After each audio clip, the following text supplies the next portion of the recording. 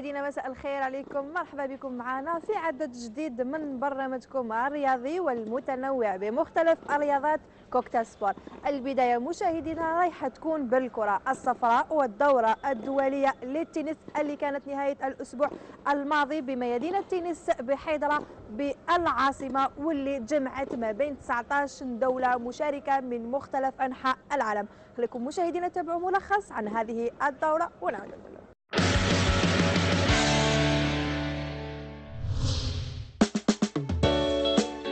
لروح لاعب التنس الشبل مهدي بوراس نظمت الاتحادية الجزائرية للعبة دورة دولية للأواسط ذكور وإناث فردي وزوجي التي سجلت مشاركة قياسية قدرت ب 85 لاعب ولاعبة تنس يمثلون 19 دولة جاءوا للمشاركة في هذه الدورة لكسب نقاط تحسن ترتيبهم العالمي.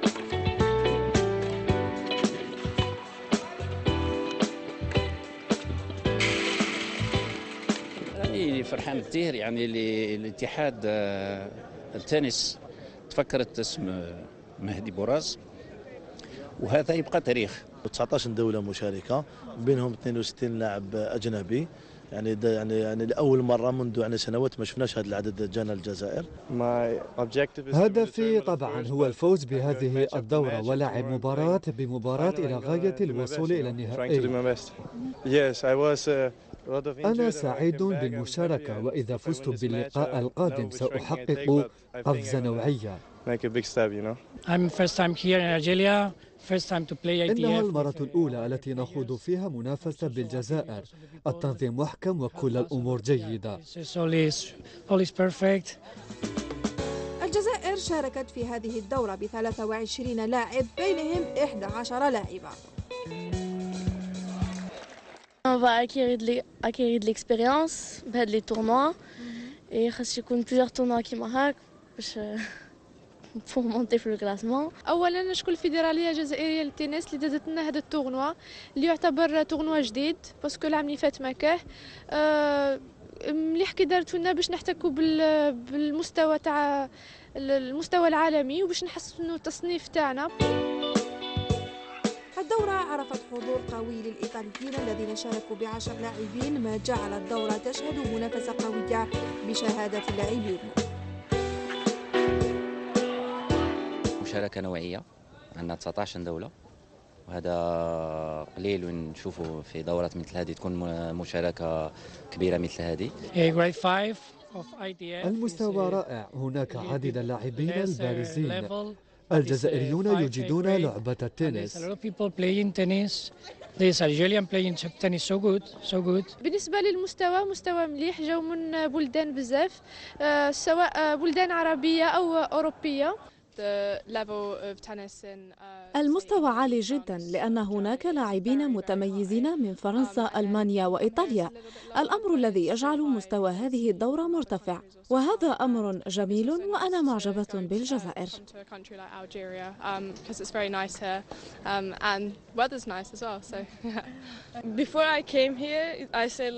قبل أن آتي هنا قلت أن دورة الجزائر ستكون سهلة ولكن لما جئت قلت ما الذي يحدث. لاعبات الجزائر رائعات والمستوى جد عالي. المشاركة الجزائرية في هذه الدورة وفي صنف الذكور كانت جد متواضعة إذ توقفت في الدور الثاني من المنافسة بالرغم من أن الجزائر شاركت ب 12 لاعب. هنا الولاد تاعنا يعني خانهم الحظ طاحوا دون زان تيراج وصور اللي ما ساعدهمش يعني وخسروا في الدور الثاني والدور آه، الثالث. القرعة كانت بالنسبة لي أنا كانت طحت مع واحد يلعب مليح. نعم خسرت premier tour وهذاك النهار لعب خير مني الحقيقة. دورة شهدت سيطرة إيطالية بالطول والعرض إذ سجلت المنافسة نهائي زوجي إيطالي 100% أما بالنسبة للإناث فقد نشطه الثنائي الجزائري ليندا بن قدور ومواطنتها حنين بوجعدي ضد كل من الإنجليزية جولي بال والبلغارية دانييلا ديمتروفا اللتان فازتا بلقب الدورة في الزوجي هي الدورة الدولية الأولى التي أشارك فيها. إنه أمر جميل المشاركة في مثل هذه الدورات وكل الأمور تسير بشكل جيد وكل الناس تعتني بي. أما بالنسبة للفرد الذكور فاز الإيطالي ريكاردو دي نوسيرا باللقب بعد تغلبه على الألماني دانيال كليموف في مباراة صعبة راح واقعها 6-7 6-4 و 6-4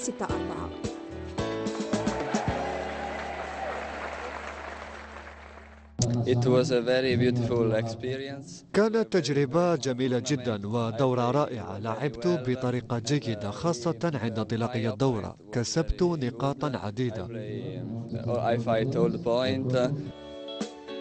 الجزائرية الشابة ليندا بن قدور كانت مفاجأة الدورة أين افتكت صاحبة الخمسة عشر ربيعا. لقب الدورة الدولية عقب إطاحتها بالتركية إرمسوليو بمجموعتين لصفر واقعهما 6 4 7 6 Fait de la compétition, je m'attendais pas باش نربح le tournoi et euh, ça j'ai pour au moins arriver en demi-finale ou là, mais là, je suis très contente, très fière de moi aussi, de me, mes résultats. It was very good tournament. Uh, كانت دورة رائعة جدا. أنا جد فخورة باللعب هنا أمام منافسة الجزائر. تلعب بطريقة جيدة. إن هزمت لكنها تبقى تجربة رائعة. أحببت البلد وأحببت الشعب الجزائري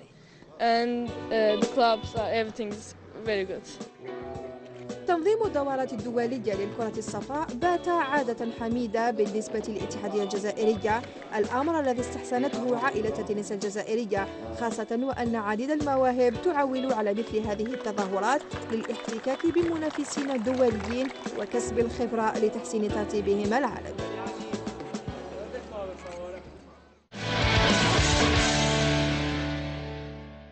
التنس مشاهدينا نروح إلى الملاكمة. وفي تحت المجهر لهذا العدد رايحين نعرفكم على مدرسة تربية بودواو للملاكمة. أحد أعرق المدارس في الملاكمة واللي خرجت عديد الأبطال أبرزها البطل الأولمبي السلطاني حسين. خليكم مشاهدينا تتعرفوا على هذا النادي ونعود نقول.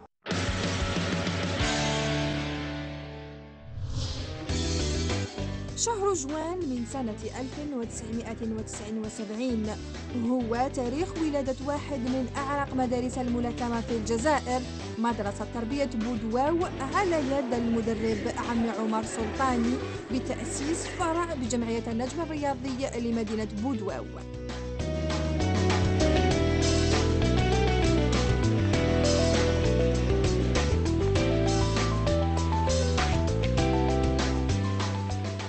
النادي هذا نهار اللي كوناه أنا كنت كملاكم.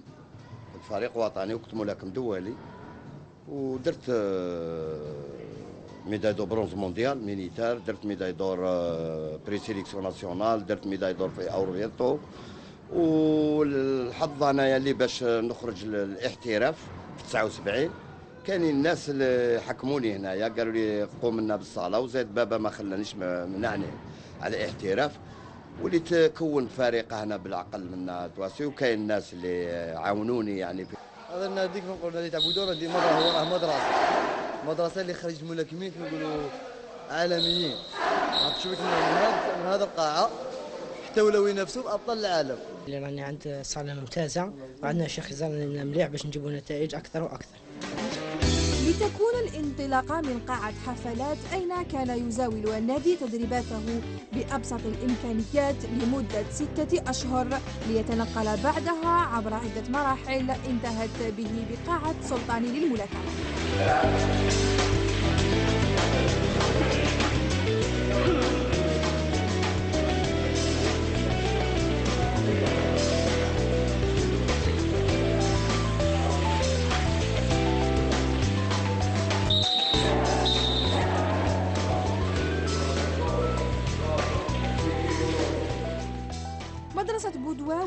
للملاكمة مدرسة تخرج منها أبطال عالميين وأولمبيين كثر أبرزهم أسطورة الملاكمة الجزائرية البطل الأولمبي الإفريقي والعربي الوحيد حسين سلطاني الذي فتح الشهية لعائلة سلطاني التي أنجبت بعده عديد الملاكمين. تمكنوا من البروز وحصد التتويجات المحلية والدولية حسيت باللي نخدم أنا لقدام الدوليا درت médaille de bronze mondial ومن بعد درت médi- méditerranée درت médaille de bronze olympique ومن بعد زدت درت objectif حتى ال médaille d'or آه، olympique.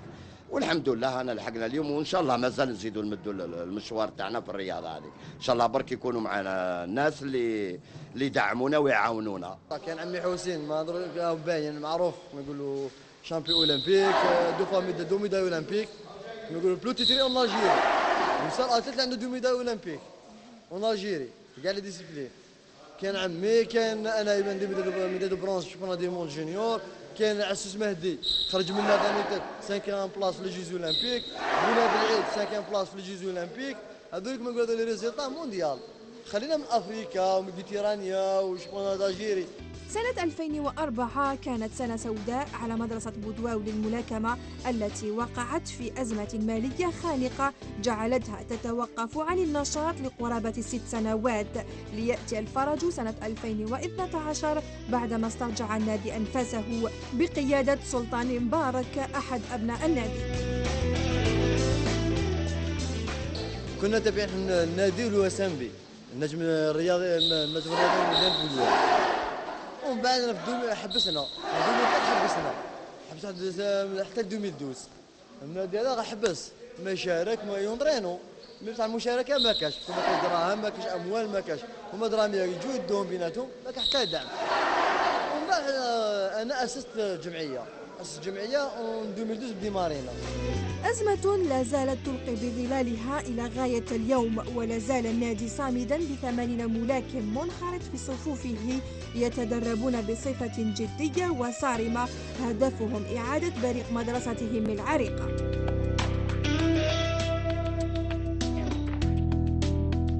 أنا المهنة هذه مقيبها مخليها أور. كي يخدمها الإنسان يخدمها على قناة ما نحبش الذهب ما, ما, ما لازمش باش يتوسخ. هذه حاجة ظاهرة.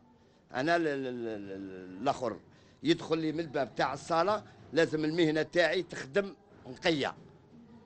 نخدم. أنا strict صح strict صح قلبي أبيض. يجي خارج واحد نضربه ولا نسقي معاه ولا قبل ما يخرج لازم نعطي له بسمه هذيك اللي باش ما يخليهاش هذيك الحرقة هذيك يخليها في الصالة. نحسه مدرب.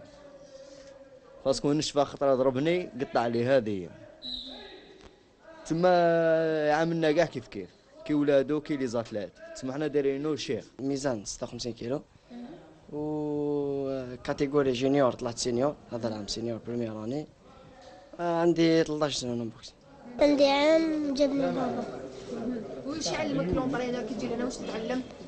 gauche droite crochet gauche crochet droite uppercut gauche uppercut droite نجي ندرب هنا في لعبة بهنا اللي بطل العالم الأمر الذي زاد من وقع الأزمة المالية على مدرسة بودواو هو التهميش الواضح من السلطة المعنية التي تركت هذا الخزان لرياضة الملاكمة يصارع وحيدا في حلبة طرفها أزمة لا تعترف بالمواهب. سلاحها تجريد المدرسة من أبسط الإمكانيات الضرورية للمضي قدما. خدموها بس عقل نكملوها ما كملوش كما مازال القطرات تسير وشطارات وديك الا بقات هكذا تعاود تولي كيما كانت. تخدموها عندها دو مواش وبدات تروح فيها. ولكن الا بقات هكذا تعاود تولي كيما كانت. تسمح حنا الدعم ما كان والو. ميم لا فيديراسيون نهضرها لا فيديراسيون حنا شغل ما باش لا كونتر علينا ولا كونتر سلطاني ما فهمتش. أنا عندي خويا جامي بوكسا. جامي دار لا ضرب لا بوكسا لا كادي لا جونيور لا. دخلته العام اللي فات بريباراسيون 4 موا 5 موا دخل خرج champion d'Algérie ربح على ثلاثة اللي كان في national national بالنسبة لي أنا عندي مشاكل آه، بزاف. بزاف يعني par rapport واش راني نخمم أنا للمستقبل هذو تاع les jeunes هذو يخصوني إمكانيات بزاف. هي اولا ماذا بيا؟ les athlètes التوعي ما يكونوش آه، libres في الساحة يعني يكون في التدريبات وفي المدارس تاعهم. يعني الإمكانيات الوقت اللي يكونوا فارغين شغل ماذا بيا؟ تكون عندي حافلة نديرهم نديهم أنا excusez يروحوا يحوسوا يروحوا للاخر باش نخلي les contacts هذاك الاحتكاك بيناتهم يكون غير في إطار الرياضه وتكون فاميليا يعني يولي يرجعهم شغل فاميليا هذا الرياضة. وبين الطموح وافتقار الإمكانيات تركنا مدرسة تربية بودواو للملاكمة تواصل اجتهادها في تكوين الملاكمين ومواصلة مشوارها النبيل لإهداء ملاكمين من ذهب للمنتخب الوطني حتى وإن لم تعطهم الرياضة في الجزائر شيئا.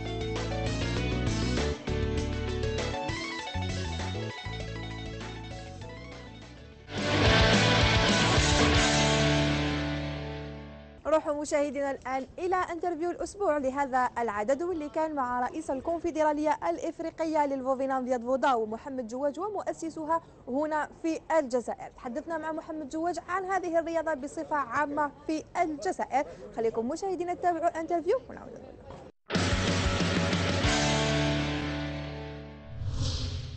محمد جواج مرحبا بك معنا في برنامج Cocktail Sport مرحبا بكم ونشكركم على هذه الدعوة. أه، سيد محمد مبروك عليك عهدة ثانية على رأس الاتحادية الإفريقية للفوفينام فيات فوداو.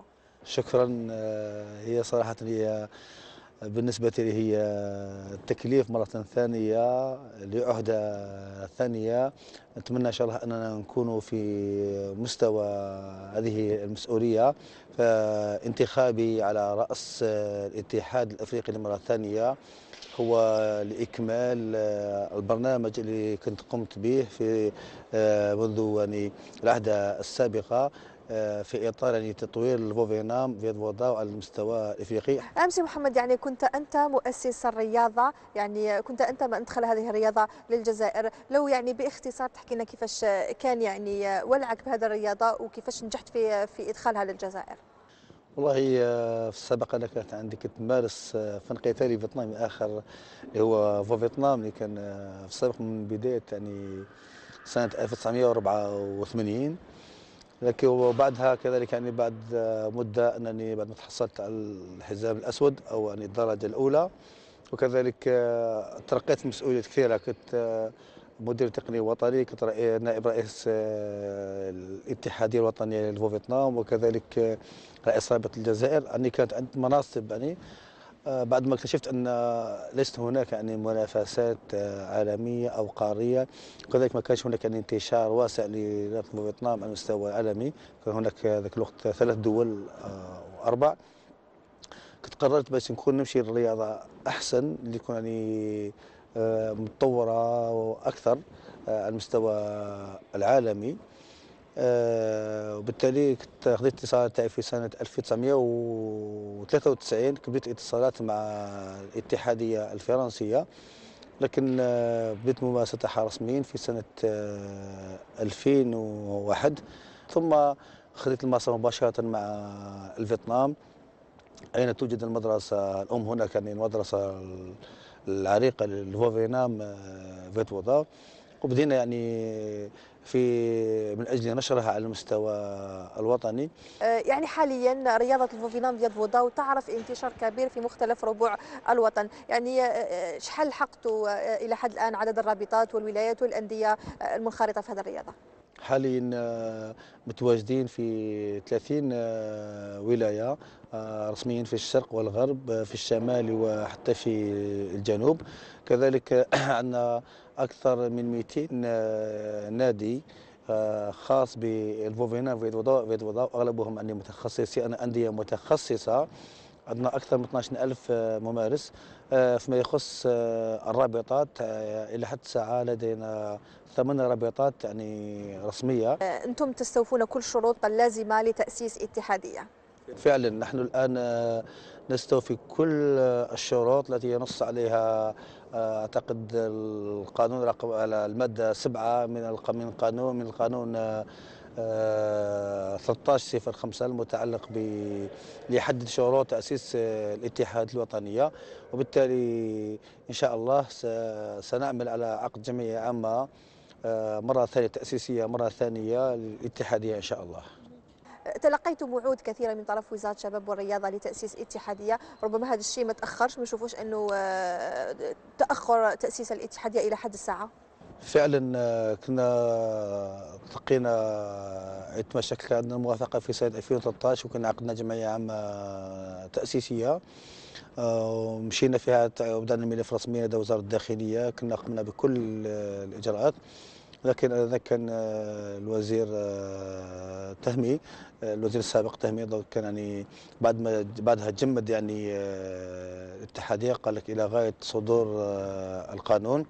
أظن كنا ننتظر كان بعض كنا ننتظر في صدور القانون هذا المتعلق باتحاديات. كان حاليا عنده حوالي سنة من يصدر لكن هذا القانون كان فيه مادة كذلك داخل يعني المادة سبعة.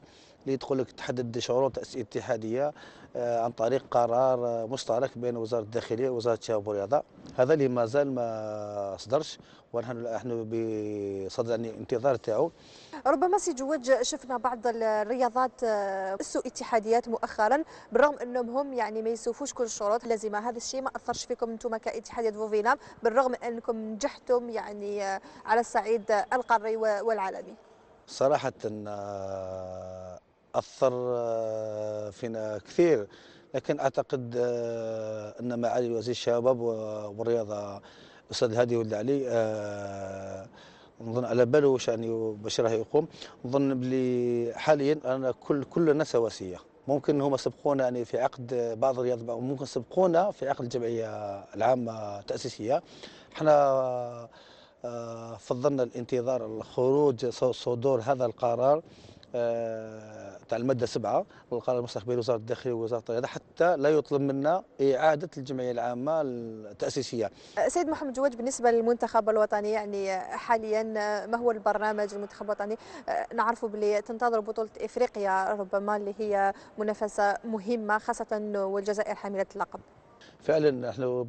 على كل آه، جانب الإفريقي إحنا كنا تحصلنا في سنة 2012 على المرتبة الأولى افريقيا وبفارق آه، كبير بيننا وبين المتمركز الثاني صراحة لدينا ثقة كبيرة في فريقنا الوطني لدينا مستوى عالمي الكل يعترف بمستوى الجزائر على المستوى الإفريقي والمستوى العالمي. وبالتالي إحنا ماشي ماناش متخوفين كثير يعني من ضياع آه، اللقب. ومع هذا أننا دائما في تحضيرات متواصلة للفريق آه، الوطني آه، دائما باش يكون يعني مستعد لخوض هذه المغامرات تاع البطولة الإفريقية. فيما يخص الفريق الوطني كذلك في هذه البطولة الإفريقية تم إضافة بعض العناصر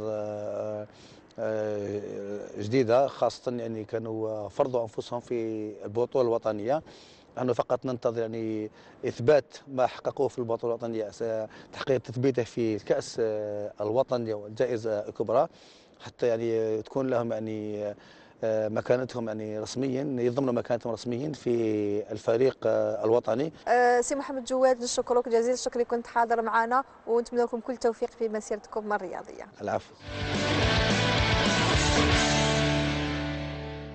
بهذا مشاهدينا آتي وإياكم إلى ختام عدد اليوم من برنامجكم الرياضي كوكتا سبور موعدي يتجدد بكم الأسبوع المقبل في نفس الوقت. ما تنسوش تكونوا في الانتظار.